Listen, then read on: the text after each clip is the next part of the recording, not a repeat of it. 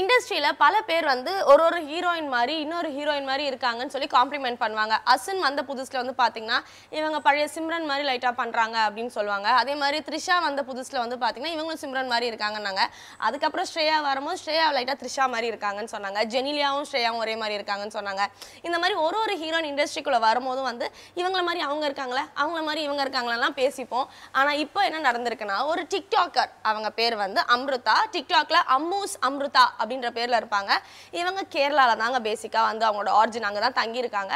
அவங்க நிறைய ஐஸ்வர்யா ராய் அவர்களோட டிக்டாக்ஸாக எடுத்து போடுறாங்க. அதுக்கு என்ன காரணம்னா அவங்க கண்ணு கலர் எல்லாமே கிட்டத்தட்ட லைட்டாக ஐஸ்வர்யா ராய் மாதிரி தான் இருக்குது அதனால எல்லா ஐஸ்வர்யா ராய் டயலாக்ஸும் எடுத்து டிக்டாக் பண்ணிக்கிட்டே இருக்காங்க. மனசுக்குள்ள ஒரு ஐஸ்வர்யா ராயோ வாழ்ந்துட்டு.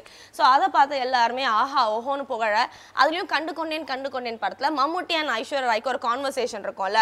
எல்லாம் இந்த அழகும் இளமையும் இருக்கிற வரைக்கும் தான். அதுக்கப்புறம் யாரும் ஒன்றும் பார்க்க மாட்டாங்க. அப்படின்ற மாதிரி மம்முட்டி சொல்ல நீங்கள் இருப்பீங்க. அப்படின்னு இவங்க சொல்ல.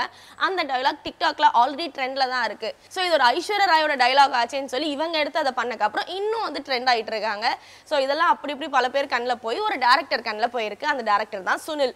ஸோ சுனில் என்ன பண்ண போறாருன்னா இப்போ ஒரு படம் எடுக்க போறாங்க பிகாசோ அப்படின்ற பேர்ல இட்ஸ் அ மலையாள மூவி அந்த படத்தை நீங்க தான் ஹீரோயினா வேணும் அப்படின்னு சொல்லி கமிட் பண்ணியிருக்காங்களாம் இதுல என்ன பியூட்டினா அம்ரிதா ஆல்ரெடி சில திரைப்படங்களை மைனர் கேரக்டர்ஸ்லாம் பண்ணியிருக்காங்க சில அட்வர்டைஸ்மெண்ட்ஸ்ல லீடா கூட பண்ணியிருக்காங்க அவங்க ஒரு ஆக்ட்ரஸ் அப்படின்றது தெரியாமலே பல பேர் இவங்க டிக்டாக்கர்னு நினச்சி நீங்கள் சூப்பராக இருக்கீங்க நீங்கள் திரைப்படங்களில் நடிக்கலாமே உங்களுக்கு பட வாய்ப்புகள் வரலையா? அப்படி இப்படிலாம் கேட்டிருக்காங்க.